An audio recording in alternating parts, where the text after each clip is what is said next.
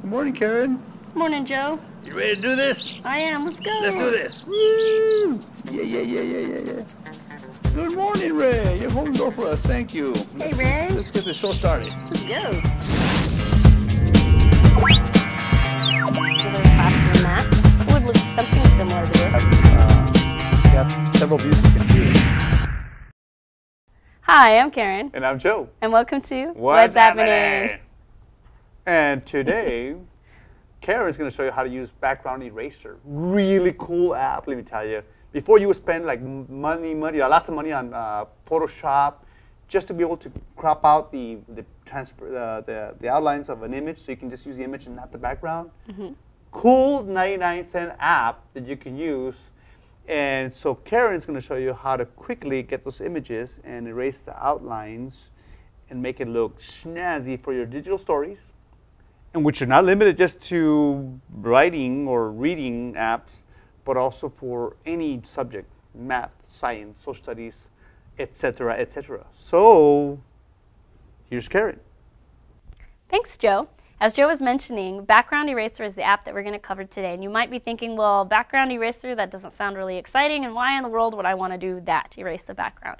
Well, when you're creating in the classroom, sometimes you'll draw just one character, and you want to just use that character with the, the, without the huge white background uh, for maybe your PowerPoint or your keynote. Maybe you're actually um, illustrating a story, and you're going to actually create a digital story and you don't want that big white background there. So how do you cut that white background out and just uh, bring the attention in on that one character that you've illustrated so that your story will really pop?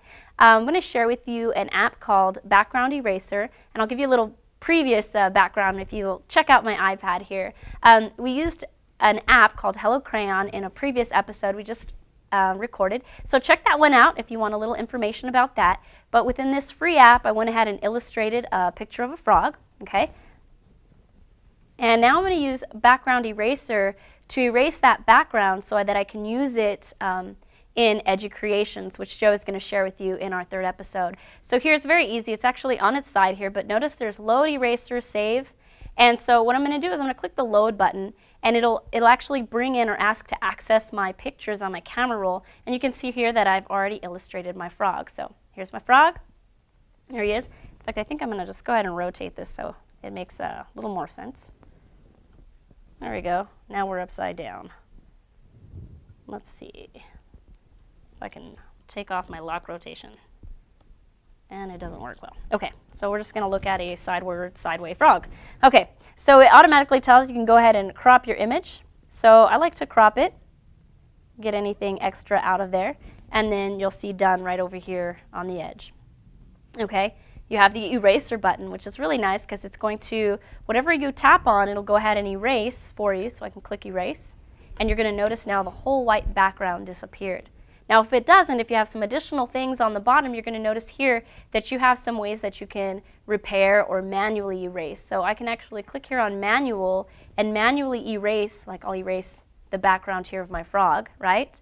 Um, there's also an undo, so I can take away that manual erase, just in case it didn't get a portion that I wanted erased. There's also a repair if you need and zoom in. So nice little features if you're getting really, really, you know, technical and, and you want to perfect that image. But I usually don't have to go that far. Click the done button here.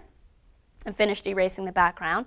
Three is save, so I want to go ahead and save this and save it to my camera roll.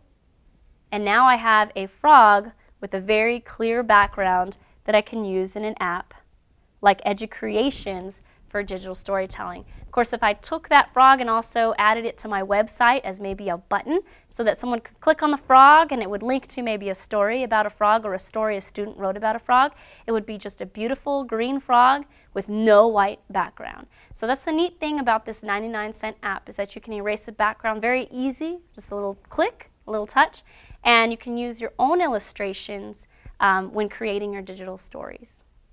Uh, remember that you can follow the EPISD TV studio on Facebook and on Twitter. We'd love to hear your feedback and maybe some suggestions as well. Um, you can actually subscribe to our EPISD TV studio. Our show is called What's Appening on our YouTube channel. Thanks for joining us for this episode of What's Appening. And don't forget to tune in for the third episode in this series where Joe is going to share digital storytelling with EduCreations and how we combined the app Hello Crayon and Background Eraser to create a digital storytelling project.